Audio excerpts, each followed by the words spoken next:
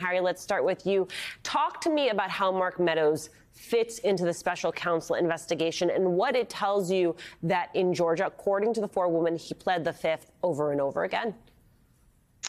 He fits everywhere, top to bottom, side to side. He is the guy who is without doubt the most important person for January 6th itself, but then before and after. He's he's down in Georgia when they're when they're giving false uh, reports to the legislature. He is the point of control for all the members of Congress who are calling up on and before January 6th. He's told Cassidy Hutchinson and others about Trump's uh, plans about why you know that Trump thinks Pence should be hanged. He is without doubt the most important witness. So much so, um, Alicia, that it's not clear that the Department of Justice would give him immunity, which is what's going to come up. Because now that his claim, Trump's claim really, of executive privilege has been rejected, that can still go up on appeal, but they should make quick work of it because they've already rejected it four times with four different people.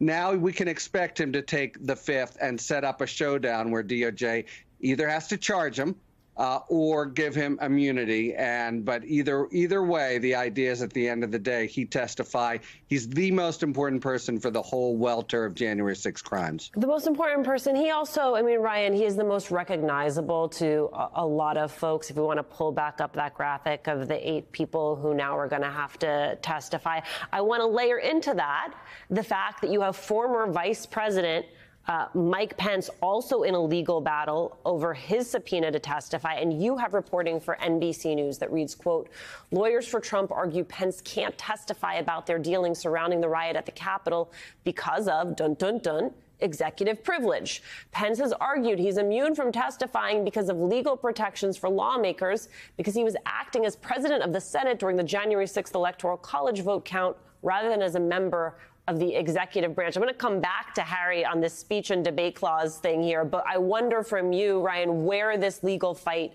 goes next. I mean, you know, a lot of this is all happening obviously behind those doors, but I do think it's remarkable that the, the position that Pence has taken here, because you know, of course, he's written a book about all of this at this point, right? Like that's sort of, that's sort of the, the the wild thing about this, this idea that he doesn't want to testify, and the reality of that is that this is all political, right? Like Pence still thinks he has a shot at 2024 which good luck in this uh, in this environment in terms of uh, you know making it anyway and he's I just doesn't seem like he has a, a snowball's chance in hell of making it through a primary, given how a lot of Republican voters feel about him and how they feel about January 6th. But sure, if that's what he wants to say uh, that this is about, then he can go that route. But that's really what you know. I mean, that's that's kind of sad, right? That he thinks he can write a book about this and and you know profit off of that book, but you know not want to be able to testify before a grand jury about what you know actually happened, about a serious investigation that's looking into us. And you know, if you look back to right after January 6th, I think that the thing that is is is sort of frustrating is that you had a lot of individuals in the Republican Party saying saying, "Oh, okay, let the let the process play out. Let's go to uh, you know the courts and the investigation and this this we can't do impeachment we can't rush impeachment